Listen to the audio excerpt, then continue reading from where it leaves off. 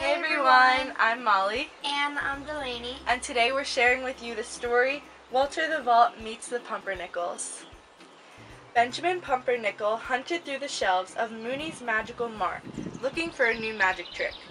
I already know how to make an orange hat turn purple, Benjamin said, and I know how to pull a nickel out of my sister's ear. A shiny light flashed twice, and a mysterious electronic voice said, I have a suspicion you're a brilliant magician.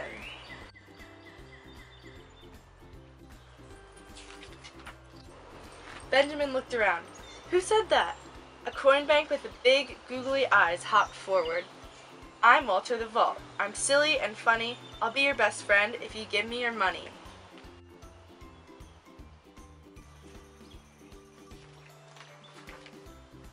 Benjamin's sister Penny raced over.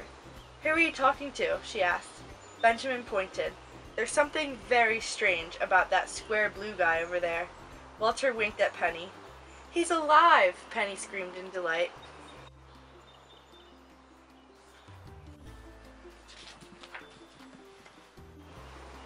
Walter smiled and said, "Yes, I'm alive, and yes, it is true. If you if you have 50 bucks, I can come home with you." Walter got so excited that he shot up into the air, spun around 3 times, bounced off the ceiling and landed on the floor with a bang.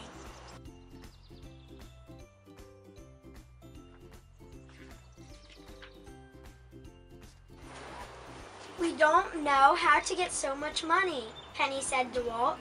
Walt's nose lit up. To get some money, you can try to sell things kids want to buy.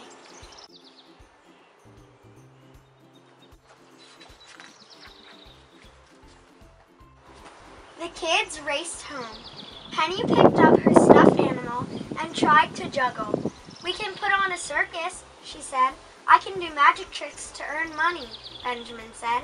He picked up an orange hat and tried to make it turn purple, but it turned brown and started to smell like rotten eggs. Let's have a bake sale, Penny shouted. Super idea, Benjamin said.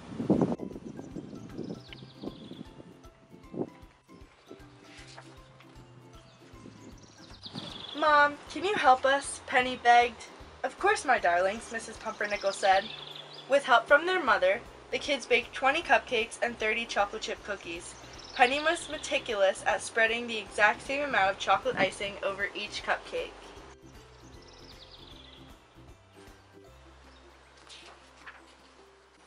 How much should we charge? Penny asked. Let's charge one million dollars each, Benjamin answered. We only have to sell one cupcake to have enough money to buy everything in the whole store. Penny giggled.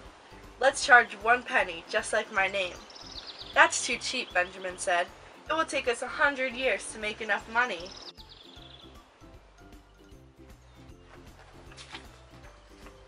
What should we charge, Mom? Benjamin asked. The cupcakes should cost the most because their ingredients were more expensive, Mrs. Pumpernickel answered. And they were fun to decorate, Penny added, licking chocolate icing from her fingers. Benjamin and Penny decided to charge $2 for each cupcake and $1 for each cookie.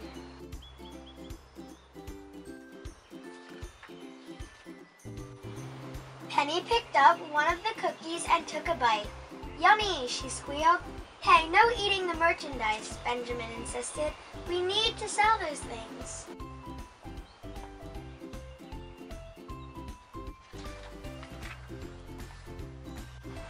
They went to the park, set up a table, and displayed their yummy pastries. Within an hour, they sold everything. Benjamin dug his hands into the pile of money. We made $69. Let's go buy Walt the Vault.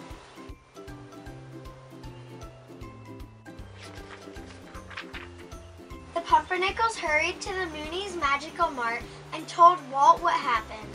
Walt smiled. You kids are very, very smart. It's goodbye now to Mooney's Mart. Benjamin said, with all this money, we can also buy lots more magic tricks. A red light on Walt blinked.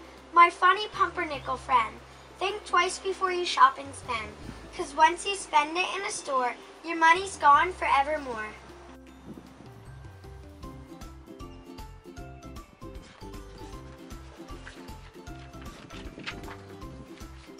Benjamin realized that Walt was right. He placed the extra earnings inside the vault. Walt beeped three times. I know for sure it's me you'll thank for all the money in your bank.